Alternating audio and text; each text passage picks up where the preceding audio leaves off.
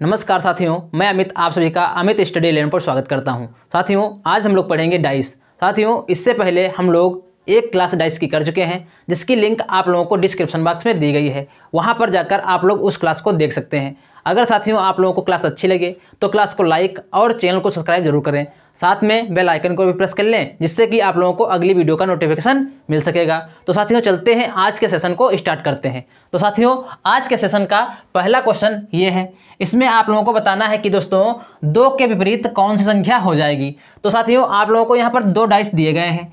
इसमें सबसे पहले हम लोगों को देखना ये है कि कौन सा नंबर जो है कि दोनों डाइस में कॉमन है। तो दोस्तों, अगर यहाँ पर हम लोग देखते हैं तो यहाँ पर दो है और यहाँ पर भी दो है। तो साथियों, क्या करना क्या है?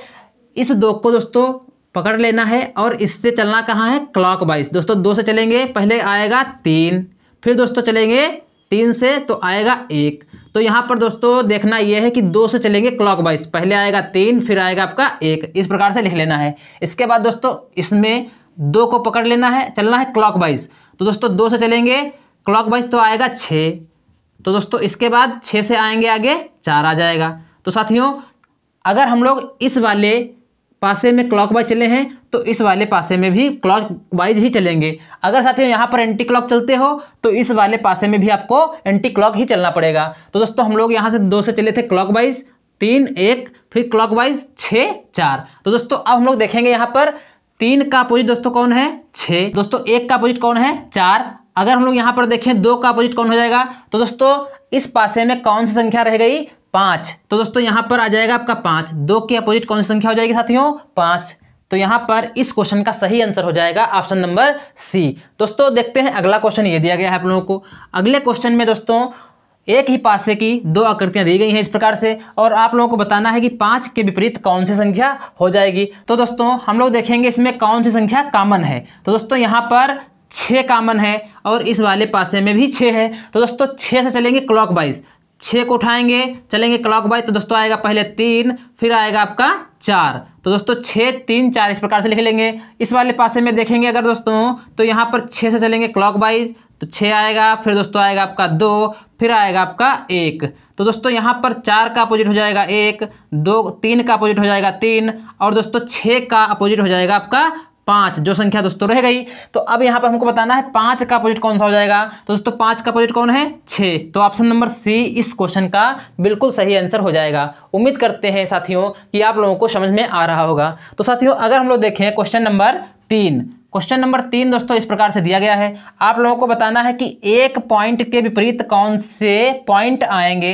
तो दोस्तों, इस आकृति में हमको वही देखना है कि कौन से पॉइंट कॉमन है। तो यहाँ पर अगर हम लोग देखते हैं दोस्तों, दो पॉइंट इसमें भी हैं और दो पॉइंट इसमें भी हैं। अगर दोस्तों, इन दो पॉइंटों को पकड़ेंगे और चलेंगे क्लॉक तो दोस्तों, दो पॉइंट से चलेंगे क्लॉक तो पहले आएगा आपका एक पॉइंट फिर आएगा दोस्तों, पाँच पॉइंट इसके बाद दोस्तों, इस वाले डाइस में देखेंगे तो दो से चलेंगे क्लॉक वाइज तो दोस्तों पहले आएगा छः, फिर आएगा दोस्तों आपका तीन।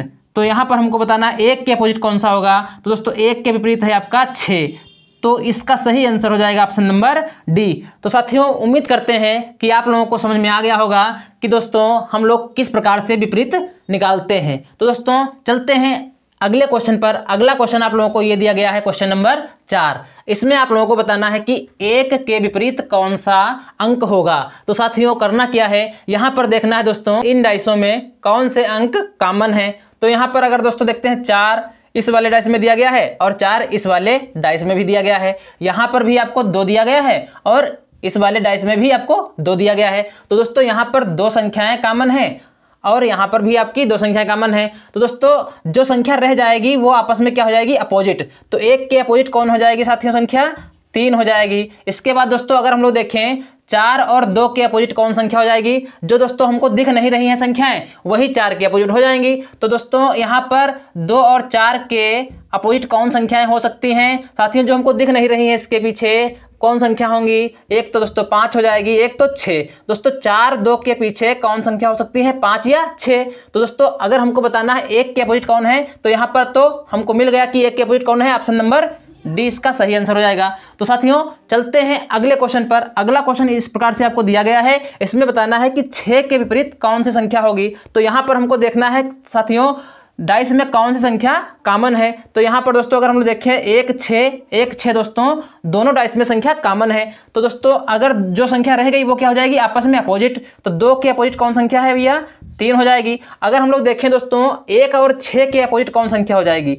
एक और छः के अपोजिट। तो दोस्तों, जो संख्या हमको नहीं दिख रही है, वही अपोजिट हो जाएगी। तो कौन संख्या रह गई? एक तो पाँच रह गई, एक तो चार रह गई। दोस्तों, यहाँ पर एक के अपोजिट पाँच भी हो सकती है और चार भी हो सकती है। छः के अपोजिट दोस्तों, पाँच और चार में से कोई भी संख्या हो सकती है। तो हमको बताना यह है कि छः के विपरीत कौन सी संख्या है? तो साथियों छः के विपरीत पाँच या चार में से कोई भी संख्या हो सकती है।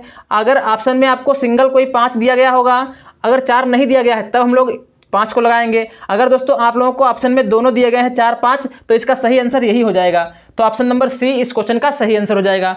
दोस्तों देखते हैं अगला क्वेश्चन अगला क्वेश्चन दोस्तों आप लोगों को इस प्रकार से दिया गया है। आप लोगों को बताना है कि सी के विपरीत कौन सा लेटर हो जाएगा। तो साथियों, सबसे पहले हमको यही चेक करना है कि इसमें कौन सा लेटर जो है कॉमन है। तो अगर हम लोग देखें यहाँ पर दोस्तों बी एंड एफ़ जो है, ये दोनों लेटर कॉमन है। यहाँ पर दोस्तों जो लेटर रह गया, वो क्या हो जाएगा आपस में अपोजिट हो जाएगा। तो ए का अपोजिट कौन हो जाएगा साथियों? डी अगर हम लोग यहाँ पर देखें बी एंड एफ़ का अपोजिट कौन हो जाएगा साथियों? तो जो लेटर आपका रह गया होगा। तो यहाँ पर दोस्तों ए से एफ़ तक लेटर लिखे गए हैं। तो कौन सा लेटर रह गया? सी रह गया और यहाँ पर दोस्तों आपका रह गया ई e. तो यहाँ पर अगर हम लोग देखें बी का अपोजिट कौन हो जाएगा? सी ई e. अगर दोस्तों हम लोग देखें एफ़ का अपोजिट कौन हो जाएगा? सी ई e. बताना किसका अपोजिट साथियों? सी का। तो सी के अपोजिट कौन लेटर हो जाएगा? बी एफ़ तो दोस्तों बी एफ़ में से हमको जो भी ऑप्शन में मिल जाएगा, वही हमारा आंसर हो जाएगा। अगर दोस्तों इसमें बी मिल रहा है तो इसका आंसर बी हो गया। यहाँ पर अगर एफ़ मिलता तो हमारा आंसर एफ़ हो जाता। तो दोस्तों, उम्मीद करते हैं कि आप लोगों को सेशन समझ में आया होगा। अगर साथियों, आप लोगों को सेशन अच्छा लगा हो तो सेशन को लाइक और चैनल को सब्सक्राइब ज़रूर करें। साथ ही में आप लोग बेल आइकन को भी प्रेस कर लें, जिससे कि आप लोगों को अगली वीडियो का नोटिफिकेशन मिल सके। साथियों, मिलते हैं आप लोगों को अगले सेशन में। धन्यवाद।